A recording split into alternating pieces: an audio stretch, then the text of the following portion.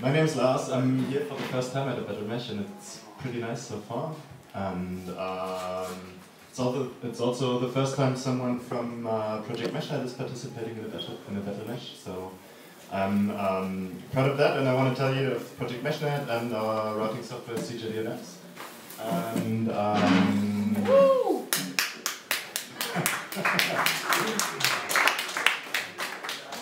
Thank you. Right, Project Meshnet exists for quite some time already. Um, we're um, a loose collaboration of, uh, of developers, like software developers, website developers, um, and first and foremost um, communities who, um, well, yeah, who build mesh networks in their towns, in their quarters in the city, and um, our goal is to replace the internet with something that's more democratic, uh, more open, more scalable. And um, right now we do this by building local mesh nets um, in cities where there are people and bridging them via the internet.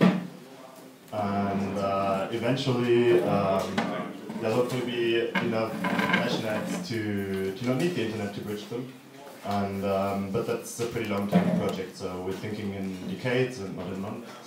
And um, yes, so the routing software we develop, we're developing, CJDNS, um, runs pretty much anywhere, Linux, Android, OpenWRT, macOS, FreeBSD, probably some others as well. And um, it's already used in the streets in Seattle and uh, in New York, where there's pretty new and young initiative building up a mesh network. And um, its promise is basically near zero configuration networking. And um, I'll demonstrate that towards the end of the talk, and I hope uh, I can keep the promise. Um, yes. So CJDNS is a network of encrypted tunnels, either over Ethernet or over UDP. And um, encrypted means it's uh, using asymmetric crypto that you're pretty much familiar with, I guess. And um, so the start of, of every of every new CJDNS node is generating a key pair, and um, all the packets to you are encrypted with your public key, and you decrypt them with your private key. It's pretty straightforward. Your public key is also used to uh, derive your IPv6 address. So you can basically generate your own IP address, and there's no central or decentral authority for numbering our addresses. And um, so, yeah, we were fed up with ICANN, and so we just ditched it. And um, it has already found commercial applications. Um, it hasn't been usable for a long time, maybe half a year or a year, but uh, there's already the proper product called EnigmaBox. It's a voice over IP appliance. You see a picture there. And um, I'm, to be honest, I haven't ever had the, the, the, the, luck to, to get one in my hands and try it out, but people have told me it's, it works pretty well. And um, so yeah, CJDNS is an IPv6 implementation. We don't do IPv4 or any, any other older protocols.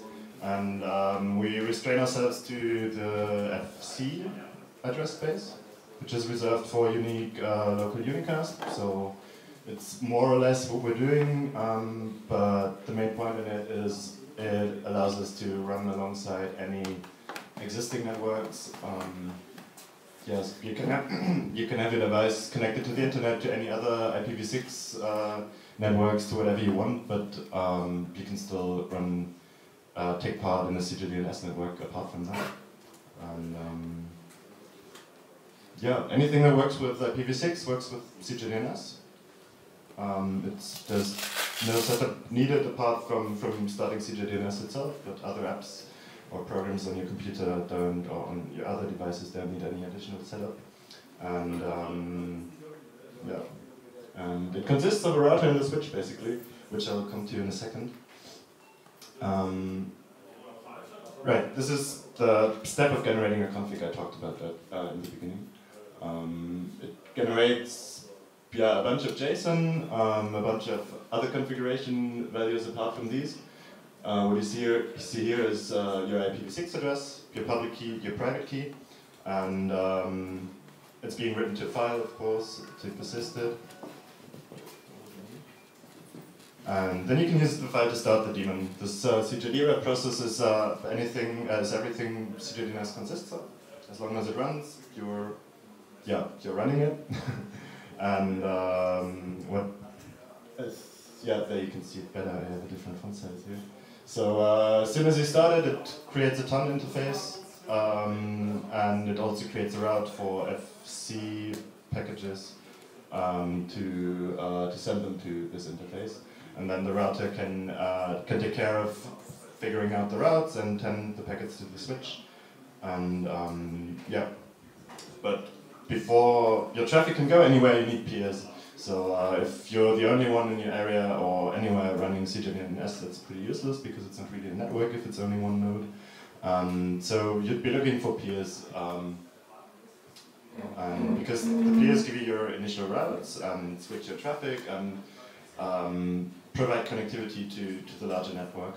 Um, you can either peer using password authentication over UDP. That's what most deployments of CJDNS currently do because they're running over, because they're peering over untrusted wires like the internet or, uh, or mobile carrier networks or whatever.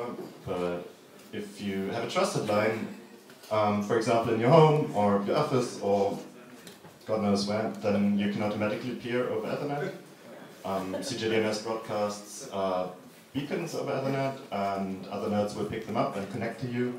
And um, this allows for, for more democratic abuse resolution and uh, response to, to attacks like DDoS. Um. So the router, which I mentioned earlier already, takes the packages from the TUN interface and it, and it utilizes scalable source routing. It means it determines the route to the destination before doing anything else. And it discovers these route labels, so-called route labels, which are just paths, basically, paths uh, through the network, um, utilizing a dynamic, uh, what's it called again? Distributed hash table, I forgot it. Yeah, it has uh, it implements a distributed hash table and um, uses it to, to discover route labels from, from other nodes that are um, that are uh, numerically nearby to you. I'll come to that later again. And the route label is basically just a bunch of directions uh, through the links of the network. And um, from these route labels, you can uh, pretty much calculate the network topology. Um, if only you can get a hold of, uh, of enough packets.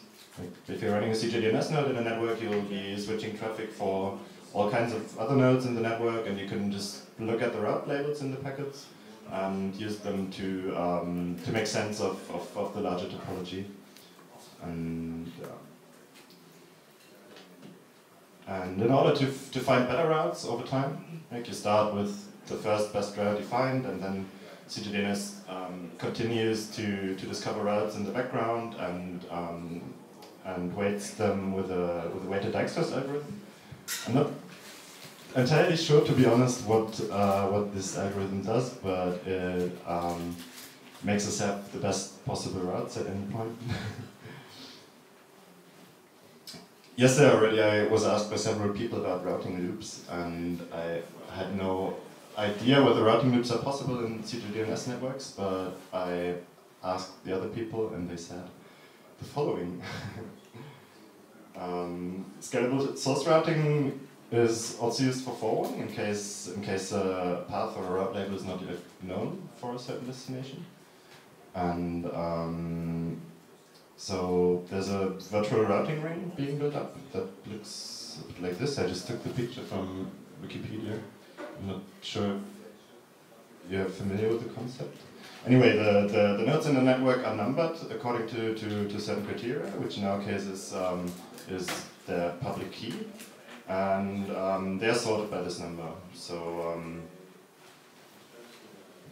you can see it here, the packet starts at 1 and then um, traverses to, through the whole ring, 17, 32, 39, 42. And um, it only traverses nodes in this network which, well, it traverses the nodes in, a, in, a, in an increasing order. It can't um, it can't be forwarded to to a node which has a number that is lower than the previous one. So yeah. Exactly, yeah, and that's uh, how routing loops are impossible. Um, in normal operation, you could, if you have enough knowledge about the topology, you could forge packets with uh, with a with a kind of circular path, but it's not really not really a loop because these path this path would be uh, would would come to an end at some point, and yeah, you don't have a loop.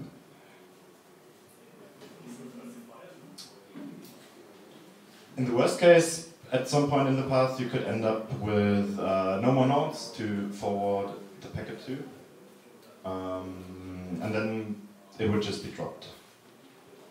The packet, that is. The switch, uh, which takes packets from the router after, after the, router has assigned a path or a route label to them. Um, because the router has already determined the whole path um, through the network that the packet needs to take. Um, switching is completely stateless. That means it can be implemented in hardware. Hasn't happened yet, but people are looking into it. Um, this, the switching decisions are completely based off the route label. Um, the route labels are, are 8 bytes, and they look like this a bit. And uh, they're made up, made up of so-called directors. So um, each of these, yeah, each byte basically, it doesn't necessarily have to be a byte the individual switch at the individual hops decides how many bytes um, of information he needs to make a decision on where to forward it. But um, basically, in most cases, this would be uh, five hops. The first hop, second, third, fourth, fifth. Um, right, an example how it roughly works. Packet comes from peer A, and um, then the switch who receives it pops up, pops off the, um, the first direction, director, which would be the first byte in this case, the, most, uh, the least significant. And um, then figures out which of their peers, the switcher receives it is the propositor DNS node obviously, and he has a peering, um, and he figures out which of the nodes belongs to this director and passes the packet to it. But before passing it to the next one, it, um, back to that label once more, I should have put that on the other slide. Um, before passing it off, it, it has already popped off this segment, and it reverses it and puts it to the back. And reversing in this case means that before the switch received this packet, this um, The previous hop had a different segment here, which it popped off.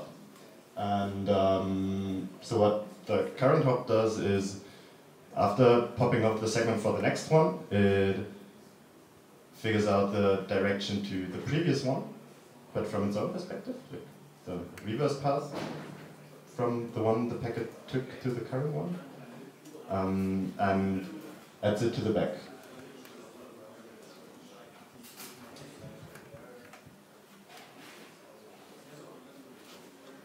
And yeah, and if the peer is down, the peer it wants to send the packet to, it just reverses the whole route. Because um, this popping off and shifting and all that makes for reversible and repairable routes. And that way it can just reverse the route and send it back to, to the origin with an error message. And yeah. That's all very quick. It's stateless, it's, it's just a bit of bit shifting, can be done in hardware and um, the router is not, uh, not at any point asked what to do because the decisions have already happened. And um, unless it needs to be forwarded instead of switched. Um, that is the case if, uh, if, if there's just no known path from the current node and then it determines another node in the network which might know a path and forwards the packet to this one and lets it do the work. Um, there's more detailed and certainly more um, more understandable version of, of or description of the switcher and the router. Um, in the source code of CJDNS, there's a white paper.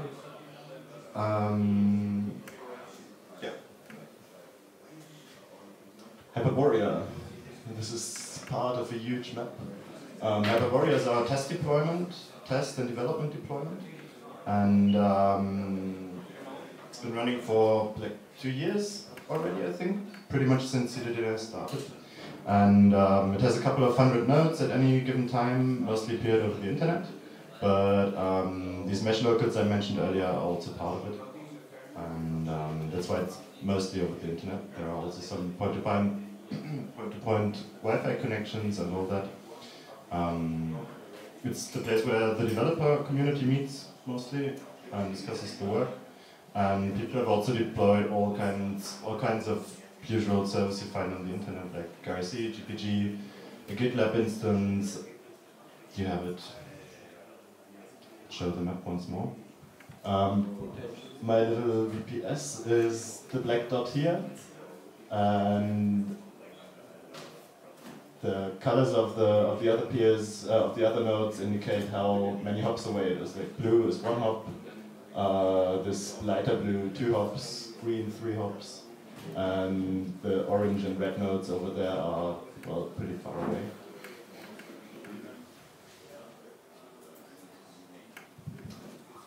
Well, we're developing CJDNS, we're offering only friend of a friend peering.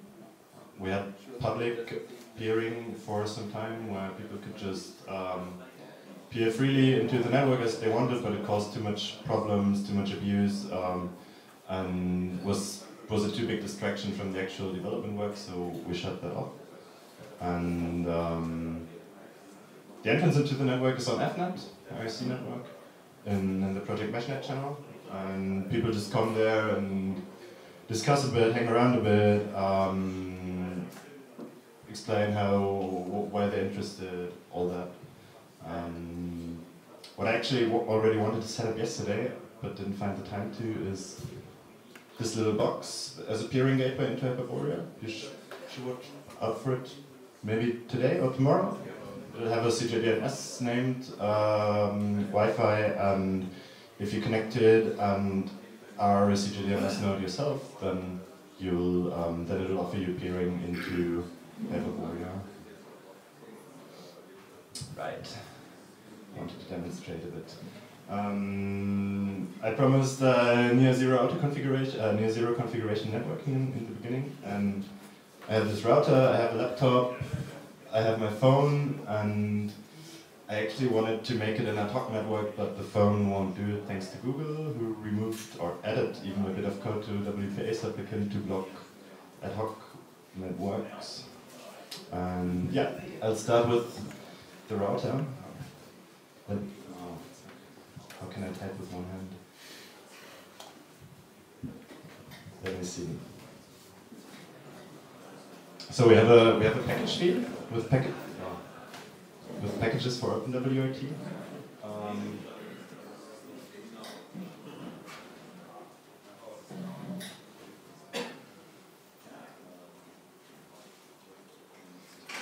oh, no, connection, right. Anyway, it's the that you just add to your build root, and um, and afterwards you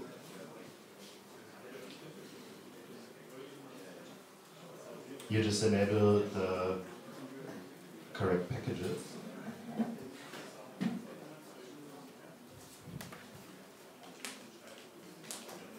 No.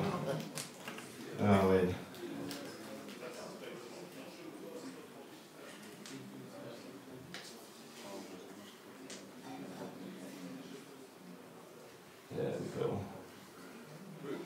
In the LuCI submenu. We have proper integration into the UI and then the UCI config system. Um, and, yeah, you just enable it, build your firmware. That's it. Um, I don't want to risk flashing the router now, so I have already, so I'll just pretend I'll flash it. And I'll pretend so by, let me see, by just deleting the config for CJDNS on the router, so it'll kind of be in a in a vanilla state. Let me see.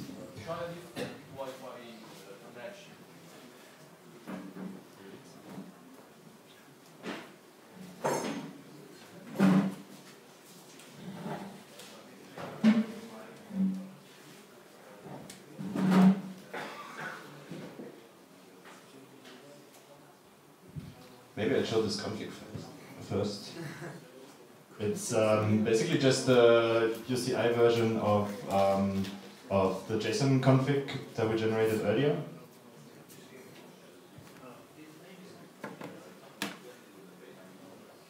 Looks like this, it's pretty straightforward.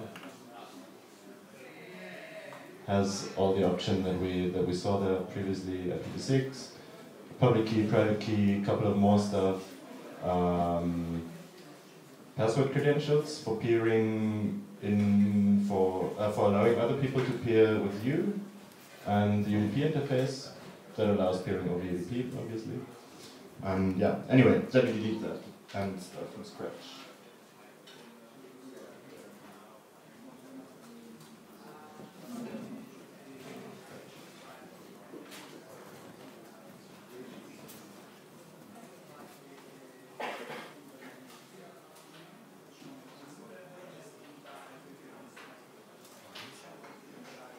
So I copied uh, the, the script that sets the initial configuration using UCI defaults back to pretend we flashed it. And next thing I'm going to do is restart CGD. And, and it should just execute it, generate a configuration, and let us run immediately.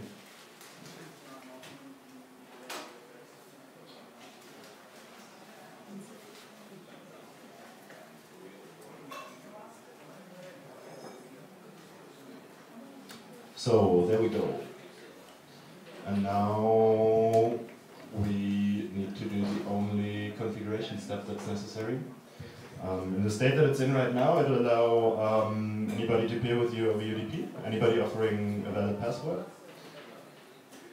But what it doesn't do yet is... Oh wait, that was right there. What it doesn't do yet is uh, offer automatic peering over Ethernet. So add, an Ethernet interface. That's not interfaces as in eth0 or Bridge LAN or Wi-Fi 0 or all that. It's um, interfaces in terms of um, in terms of switching directions that I talked about earlier. So um, Anyway, that, would, that was just confusing. Sorry. Um, I like this, in, this interface. Bind it to, to the LAN bridge and enable the beacon mode. You can disable this automatic peering over Ethernet and only offer peering with password, or you can, well, enable it. See?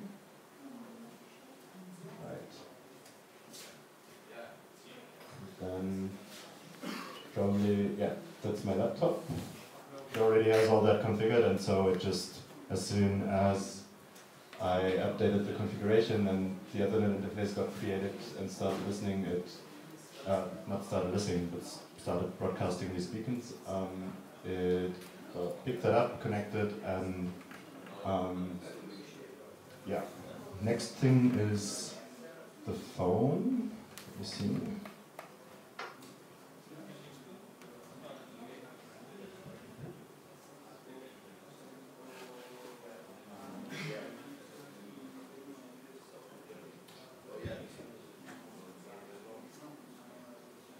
So building for Android is really simple. It's just a matter of um, specifying a different GCC toolchain, and then you just get the, CJ, the CJD binary, copy it over to the phone, and yeah, right. That's it. I'm, I'm adding uh, the Android ARM toolchain. It's part of part of the Android SDK to the path and pass the toolchain name to the cross compilation script, and it's really fast, and it's green on black.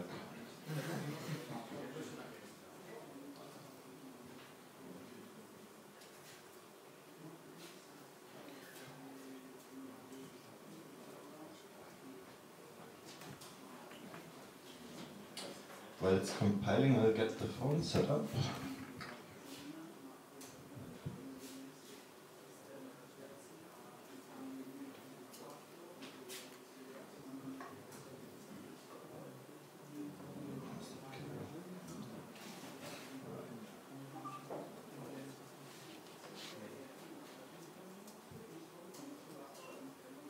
It's already finished. I obviously can't execute it because it's for, well, for my phone and not for my laptop.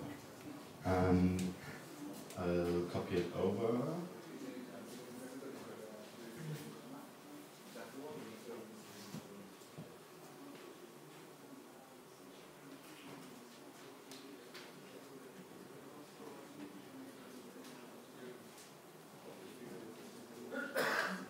So yeah, I already have a, a, configuration, and the only thing I did was, well, generate it and then do the same thing I did on the router, which is enable the, um, the Ethernet interface. I can show this real quick. So that's what, what the whole configuration looks like in JSON. And yeah, that's what you see. Yeah. Um, binding into the Wi-Fi interface, enable the, the beacons, and then I just need to start it. Make sure there's no other process. Alright, cool.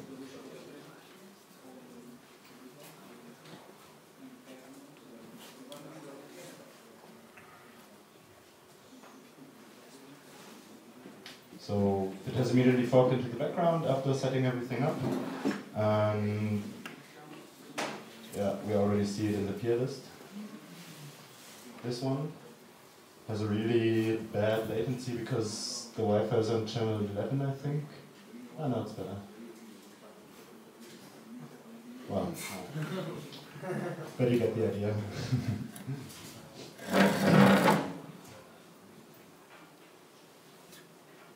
um, yeah, but that was just a little to-do list for the demo. Um, that's it, basically. Thank you. I'm here until Sunday for questions and all that. And um, do you have questions? I'm sure you do. As far as I understood, you use IPv6 to send packets, right? How do you translate the destination of IPv6 into a node ID?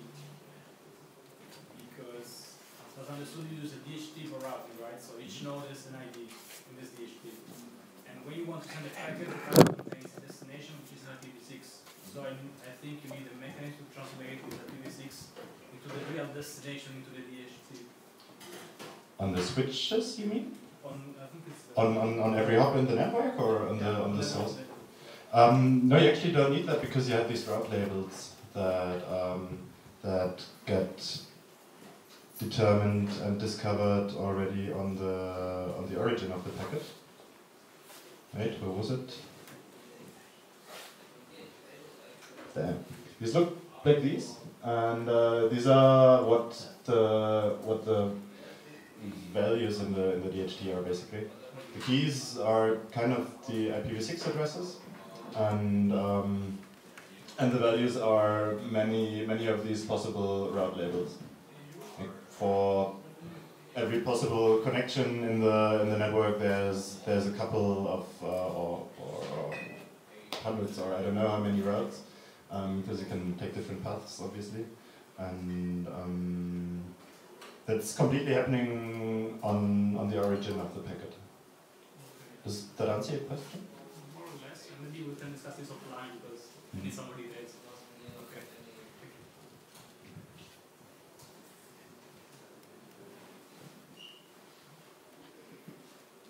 So far I understood it, it's an overlay, but of course you claim it can do routing, so it's when will you test it in the network here? Oh yeah, that's a good question. I uh, already chatted with uh, Axel yesterday and it doesn't seem so hard to set up. But yesterday I had to, well, prepare the slides. So I wasn't really well prepared. But that's for today. And I hope we can take part in the competition. I don't know if we'll be doing so well against uh, all the protocols who are smart about, about the Wi-Fi environment. But um, yeah, definitely want to see how we do. Go ahead.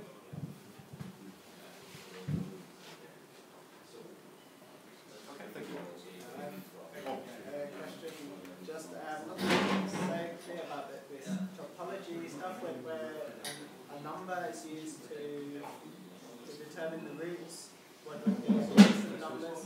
When someone originally, or a, a new person sets it up and they get a number, what is uh, putting that number into, uh, how, how is it determined that that number would be adjacent to, Let me let me show. Do you mean you mean these uh, direction numbers in the table? yeah, so as a, Let me let me show let me show uh, a real world example maybe. I have this uh, this node that I showed on the map, and I'll let me quickly well get off the phone first. Come on.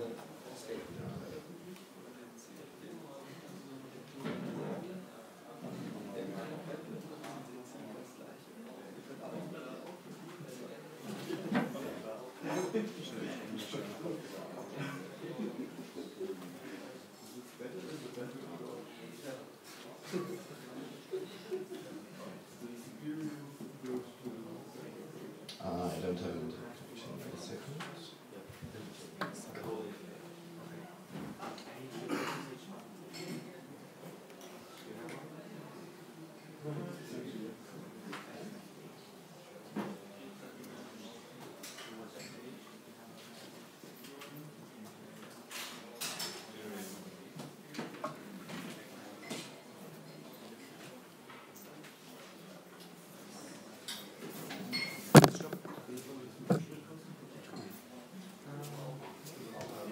Um, this is the peer stats table of that node.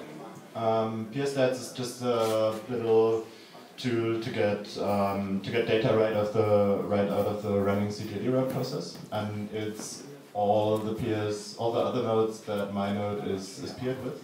It's like I don't know, 15 probably. And um, right on the left there's the IPv6 address of, of the peers, and right next to that there's uh, the route label that shows the, the direct route to them. And uh, you probably can probably see it better there than in the slides. That you have these little directors here, and that means that the this peer, like C96D, that's my laptop, um, is known to the switch on that node as well B2 basically.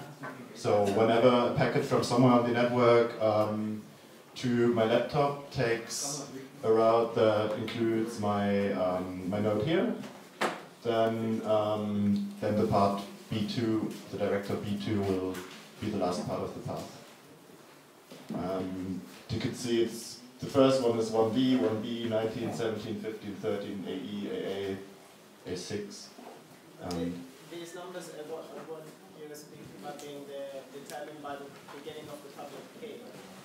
Um, no, they are pretty much just um, just um, incrementing. Whenever you add a new peer to your to your node, um, cjdroute or the, the router and the switch decide um, or, or figure out a, a new number, a new director for that node, that's that's what they use for it, basically. Um, that doesn't probably answer your question. I I'm pretty sure I can get a good answer in a couple of hours from someone else.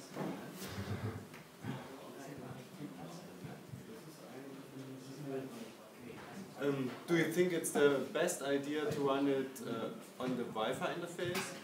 Maybe it's better to run it as an overlay network on an on top of an existing mesh network, either OLSR or Batman Advanced. We It's could have tested. it pretty much assumes that, that you have no packet loss at all, that you have no latency. I mean, it, it can deal with it, but it doesn't cope with with all the all the weird shit that goes on in Wi-Fi networks. I mean, I don't know what smart stuff Batman and BMX and all the other protocols are doing there, but I'm sure it's a lot of smart stuff. Um, it basically runs best on cables at the moment. And uh, if you want to run it on Wi-Fi, go ahead, put it on top of Batman or some other protocol that has more knowledge of, of the environment. Mhm. Okay. I mean, you can run it on Wi-Fi, you saw it, but But we know the problems of the Wi-Fi routing, existing routing protocols with the signal loss and such stuff. Yeah. yeah, your mileage may vary.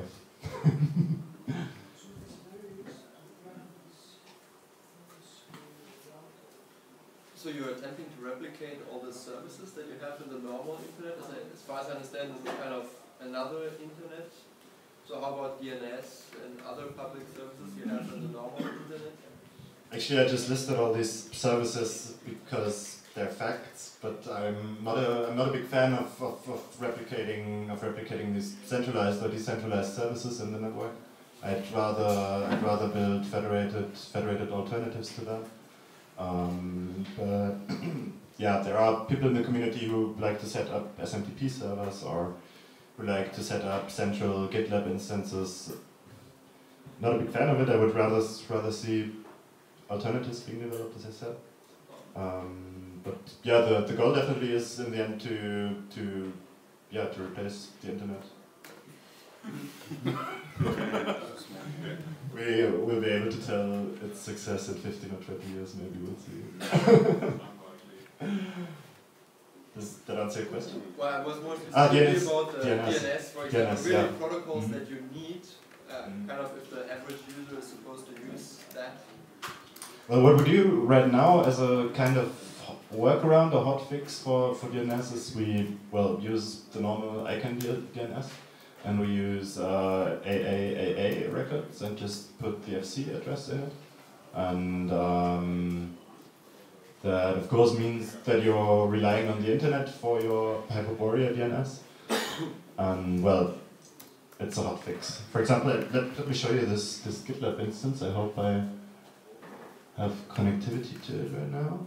I sometimes get bad routes to it. Yeah, there it is. And you see it's it's a .com domain, so it's definitely ICANN, uh, but it points to an FC address. Um, that's yeah, the hotfix we're doing we're using right now. There are people looking into alternatives to DNS, like combining Namecoin, for example, with a DH, with a distributed hash table, stuff like that. But it's all very rough, not really usable, and it's more in a state of toying around with it, experimenting. But yeah, DNS is definitely an issue we're, we're facing. And, and IP address collisions, I guess, also are going to be an issue at some point.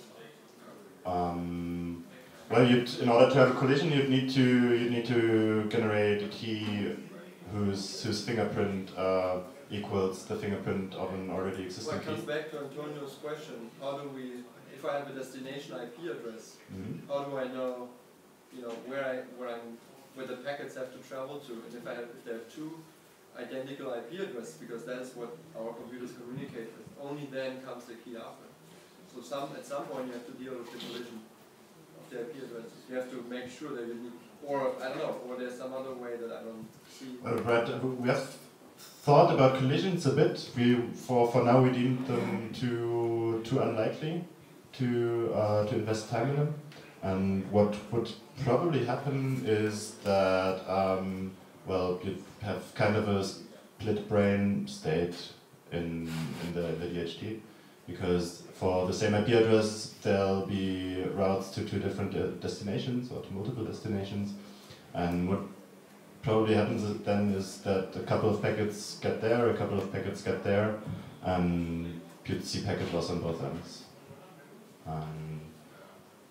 But yeah, really not sure how likely it is to, to have collisions. You need to generate, as, as I said, a, a, key with this, the same fingerprint. I, I Um, don't understand where the key comes in. As I said, it comes back to the question.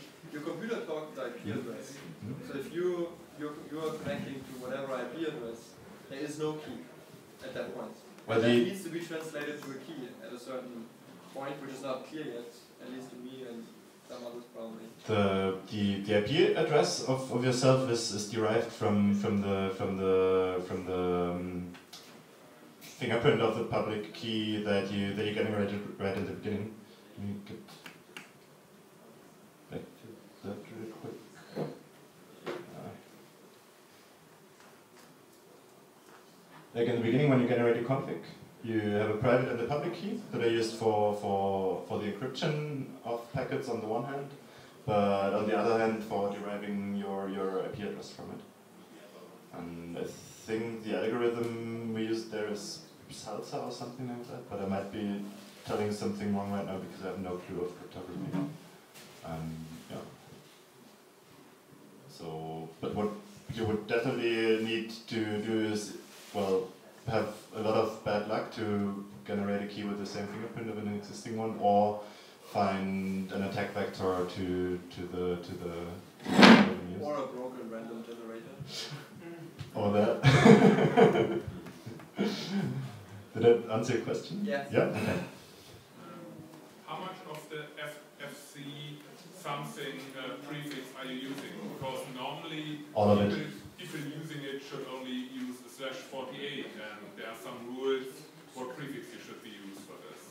Because you might address, get address collisions because other people use parts of this address. Because unique local doesn't mean you should take all of this. We're taking all of them. I'm not sure what the reasoning for that is, but I think it's just to to maximize the well to maximize the space we have. Um, Yeah. I Which think this is a truncated hash of some. I think this is a, a truncated hash actually. You're using 120 of 128 bits. on Yeah, exactly. So you truncate a That's it's it's another hundred. hash 120 bits. Uh, no, actually, we we generate uh, keys until we have one where the fingerprint starts with FC. So we don't truncate the first two bytes, at the first byte, but instead we brute force until there's one that matches what we want. Um, sorry, I, but that was a different question, I think. Um, So you might, the problem is you are breaking the concept of the unique local addresses. probably, yeah. that you can have multiple networks using them and you can combine them in a larger network and they will have no collision because it's, it's unlikely because every one of them has taken a slash 48 and the prefix is selected by some hashing of the, I think, the timestamp in milliseconds when you did it. So that's the idea. So you, uh, you, it's not, a, it's not only, it's not meant as a purely private local thing, but also something you can combine with different networks. And when you take the whole range, of course, you break this. Not even sure if FC or FB is the normal unique local. FD is declared private, just private without any comment, I think. No, one of them is, uh, they are both the same, but one of them they said they want to set up an authority that gives them away, but never did this, and the other one is with this randomized slash 48. I'm, I'm not sure either, but I'm definitely sure that FC is for, for unique, uh, for Yes. unique unicast. Yeah, Yeah, but normally there's a rule for the first yeah. six bytes or something like this. I didn't know that yet. Thank you.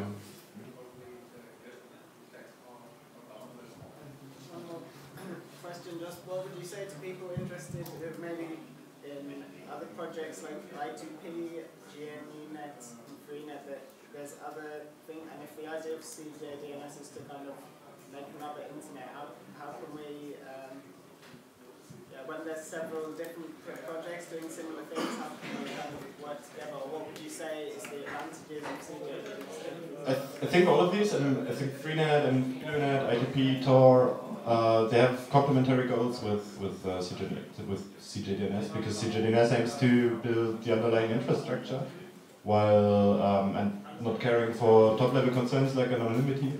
And um, you could totally run Tor or I2P or the others on, on top of CJDNS. Um, well, Tor not yet, I think, because it doesn't support IPv6 yet, as far as I know. But as soon as it does, nothing's keeping you from that. Yeah. Do you know the Netsukuku project? Sorry? The Netsukuku project. Netsukuku? Yeah. Never heard of it, no. Okay, it has some aims and some overlapping goals, but they don't have a real implementation. I mean, they have one right now, but it's still in testing. You might want uh, to look at the white papers they have for inspiration because they solve some DNS issues only, you know, theoretically, not practically. So Yeah, perhaps definitely. that might be of some inspiration. Yeah, let's chat afterwards. Okay. Any more questions?